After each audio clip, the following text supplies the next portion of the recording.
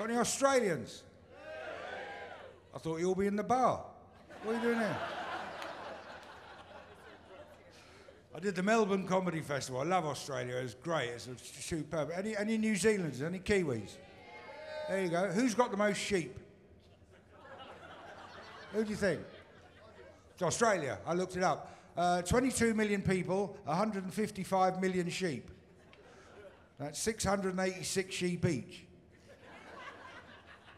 No, it's not funny. It's statistically correct. That's all it is. Sheep are the least dangerous critter in Australia. By round of applause, who's been to Australia? Well, you know then, they've got some dangerous animals there, haven't they? Red-backed spiders, kill you in a minute. Box jellyfish, snakes, snakes that are so venomous, if you're attacked by one of these snakes, you only have time to say, I've been bitten by a snur. Crocodiles. In Britain, we've got squirrels. Sharks, sharks. While I was there, I read in the paper a man was nearly killed while diving on the Great Barrier Reef by what was reported in the paper as an unexpected shark attack. I've got to thinking that's not unexpected, is it? If you're diving on a reef, it's unlucky. I'm human, I sympathise. It's not unexpected. An unexpected shark attack will be if you're wandering around Walmart, wouldn't it? and you stop and look at the fresh produce, and a great white jumps out. That would be unexpected, wouldn't it? Eh?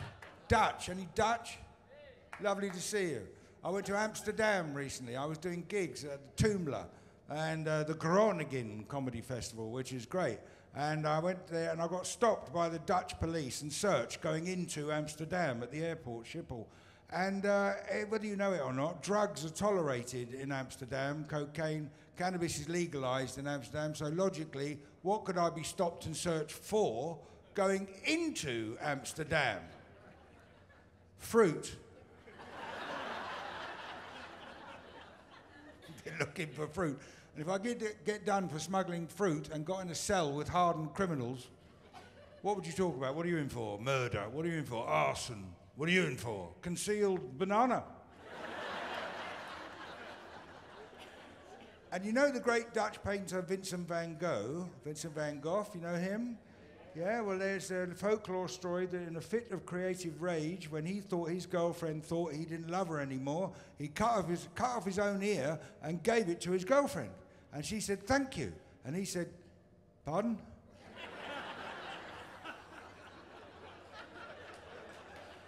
then she said, I'm going to the bar to get a drink. Do you want one? He said, No, thanks. I've got one here. Welsh, any Welsh? Hello? You all right? The town with the longest name in the world is in Wales. Longest name in the world is called Llanfairwyl Gwynyl Gogri Jondro Williams Yasili Gogogo. 57 letters. The guy that named it was fed up at losing at Scrabble. And I was in Llanfair doing a gig, and I said I went to a fast food restaurant, and I said to the waiter, "Can you say the name of this place slowly so I can get the pronunciation?" He said, Of course. He went, Burger King.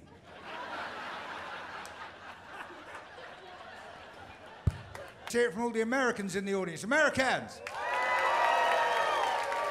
I sincerely love Americans. You've got a positive mental attitude. You've got a generous spirit. You always want us to do well. You're winners. Americans are winners. You always win the Baseball World Series, don't you? Why is that then? There's only you in it. It's not fair, really, when you think about it. No, the Canadians are in it, aren't they? Yeah. But we're allies, aren't we? Great Britain and America. We're very proud of that. Lovely being allies. Allies. Didn't used to be. American War of Independence, we were the enemy, weren't we? We were the redcoats. Redcoats. That was a dumb choice of uniform when fighting in a green field, didn't you think? A red coat with a big white X across the front here like that.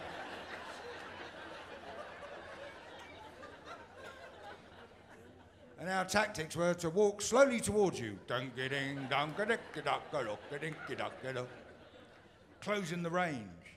And your guys are just going.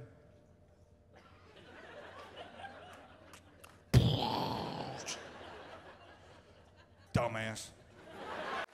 Please up for Martin Beaumont. Once again, everyone, show some love, Martin Beaumont. Come on out, Martin. That deserves another round of applause. Absolutely, absolutely.